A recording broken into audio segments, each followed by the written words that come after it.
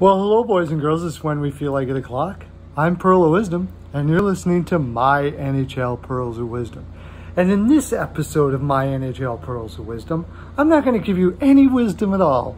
I'm going to try something neat here. We're going to go down some free agents. We'll see how many views we get if people like it. I'm going to do it. Uh, we got it would normally be free agent season right now, but it's not because of the coronavirus. Hopefully, none of you have that. Uh, but I'm going to talk about free agents that are coming up.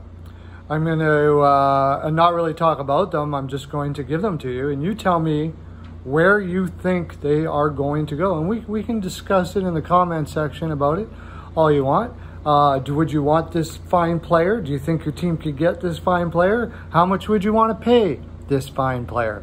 And the player now that is kind of up in the air. Um, I've heard people say that he's going to stay. I've heard people say that they're that the reason why they brought in Justin Faulk, St. Louis Blues, that is, uh, from the Carolina Hurricanes and gave him a $6.5 million long term contract was because they didn't think they were going to sign Pietrangelo and they'd rather put the money towards some of their forwards like Schwartz and uh, uh, Sundqvist and guys like that. So I have my feelings about it. We can talk about my feelings about it somewhere down in the bottom. Also, if you're looking for my uh, NHL picks for the games that are coming up on the first, one of the finest days in the land, we have a video coming out today, uh, BPAL picks, where we where you give we give you one free pick, one free pick, and uh, we also talk about the other games. And if you go over to our Patreon, our our Patreon members are making serious dollars over there. Our premiums are seventy five to eighty percent on our picks. Uh, it's it's a simple investment. You bet hundred dollars a pick with us, you're going to double your money, probably somewhere around there. Where are you going to find that in the bank?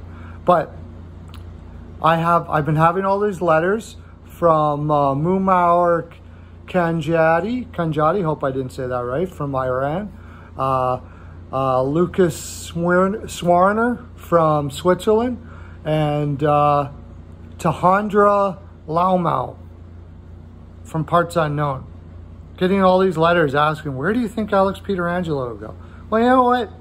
Where will Pietrangelo go is beyond. I, I kind of have an idea. But why me? You guys tell me. Where will Pietrangelo go? And don't forget to subscribe and like. I, I haven't getting the likes. It couldn't be because you don't like it.